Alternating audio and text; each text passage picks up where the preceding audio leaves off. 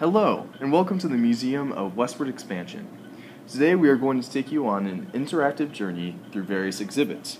But first, an introduction to the idea of westward expansion itself, told through one man's story.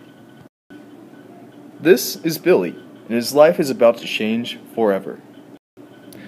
Billy lived in Norway, and the Norwegian way of life was hardly luxurious. Overpopulation led to a shortage of food, making it difficult for the simple family of 12 to meet their own needs.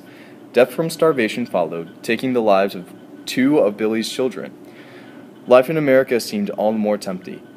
Billy, trying to keep the rest of his family safe and in good health, decided that the only logical course of action was to leave the country forever and seek refuge in America. And so, Billy's family embarked on their journey. A few weeks passed before the Yurt family landed in New York. Upon arrival, Billy realizes that, even just moments after setting foot on the soil, he has already been given the chance of a better life.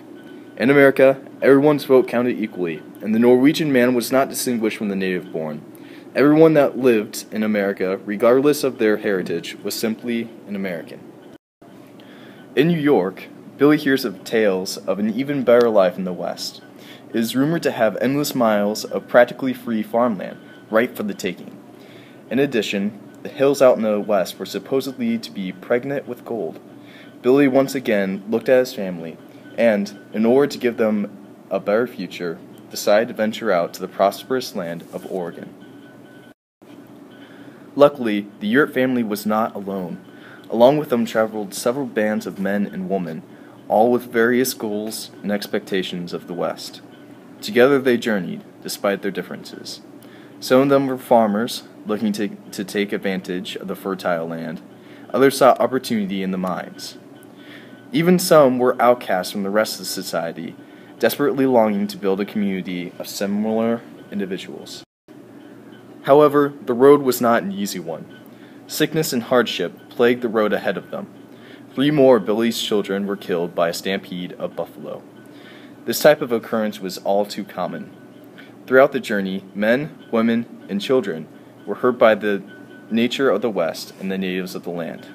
Because of this, the pioneers tended to travel in large groups. This helped them combat hostile tribes of Indians as well as scare off natural predators. However, strength in numbers could not save them from sickness. Cholera, typhoid fever, dysentery, and diphtheria and measles were just some examples of the pestilence they encountered over the course of the journey. However, they managed to trudge on and complete it, finding prosperous land in Oregon.